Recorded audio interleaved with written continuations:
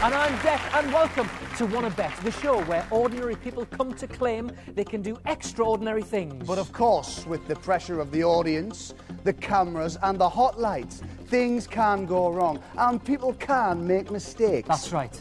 But give us a break, we're doing our best. It's a show which is about it's ordinary people doing extraordinary things. So uh, it's people who they come along and they, they say to us that they, they claim they can do something quite out of the ordinary, and our celebrity panel bets on whether they think they can do it or not, whether they can pull it off. Um, and whoever makes the most money out of the celebrity panel, uh, they, they get that money for charity.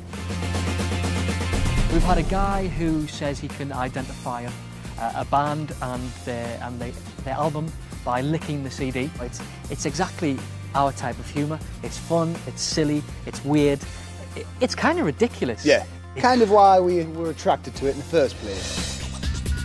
We had a version of the show in the UK about 10 years ago. Yeah, about that, yeah. So we really understood it. We liked it. We used to watch it back in the UK. So when we got offered the chance to come here, we knew what it was and we, we jumped at the chance. Back at home, we've, we've hosted some, some big shows that we've been very lucky to be to, to be uh, associated with some big shows like Idol. That, that was the big one that really launched us. Yeah. So we're kind of a cross between an English Ryan Seacrest and Jerry Springer. Yeah, that's that's a good mix. If that. you can imagine that. I'd like li- to. it is first and foremost. It was it was the show.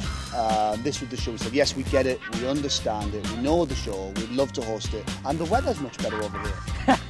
so why not? There is that as We've well. got a little bit of a tan. It's the first time. First time in many years. raining back home. It's Yeah. horrible. What people are going to really like about Wanna Bet is it's it's weird, it's wacky, it's fun, it's silly, but there's there's a huge play along factor at home. Yeah. You can really and you really get involved. You can't help but get involved.